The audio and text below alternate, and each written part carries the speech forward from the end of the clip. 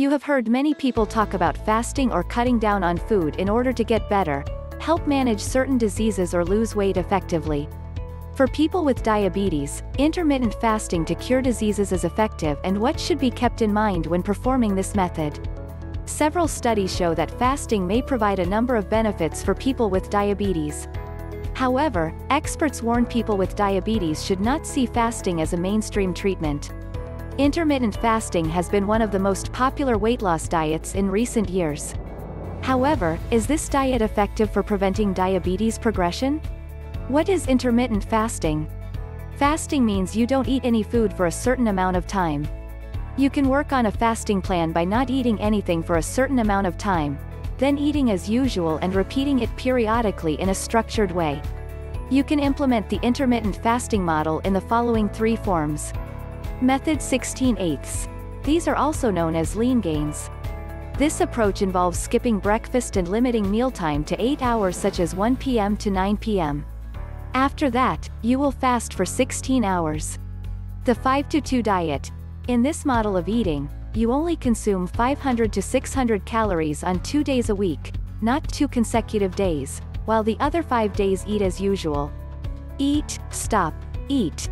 This eating pattern involves fasting 24 hours, once or twice a week. For example, you will fast for dinner one day until evening the next day. How should diabetics interrupt fasting?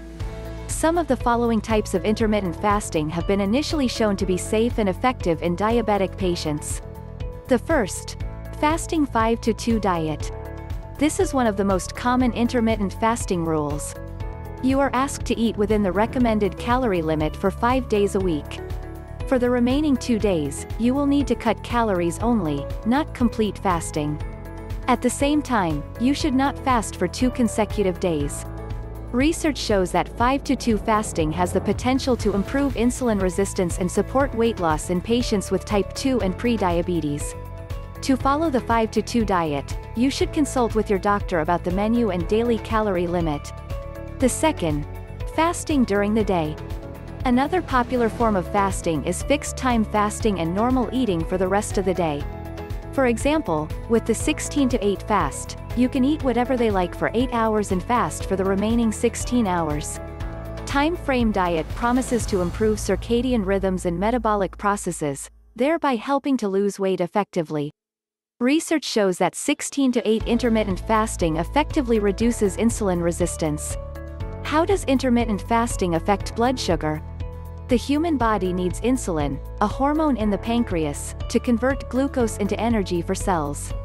In people with diabetes, also known as diabetes, insulin resistance leads to an excess of glucose in the blood and causes hyperglycemia.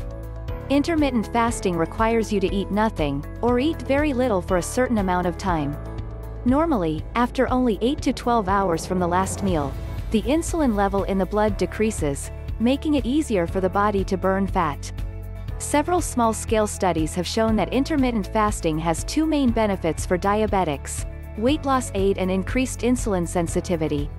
Other effects such as reducing inflammation, detoxifying and stabilizing blood fat still need to be studied more before any conclusions can be drawn.